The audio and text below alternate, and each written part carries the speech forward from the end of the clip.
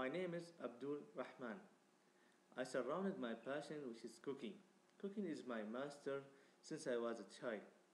The important and effective way to be a good cooker is practice, and you don't have to stop and see how the food is cooked.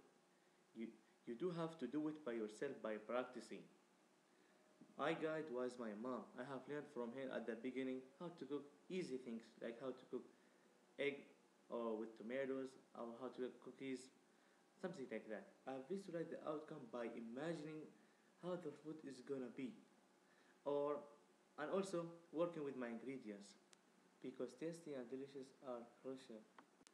I play edge by challenging myself and try to cook something takes a lot of time or something hard like rice with chicken or rice with lamb or seafood.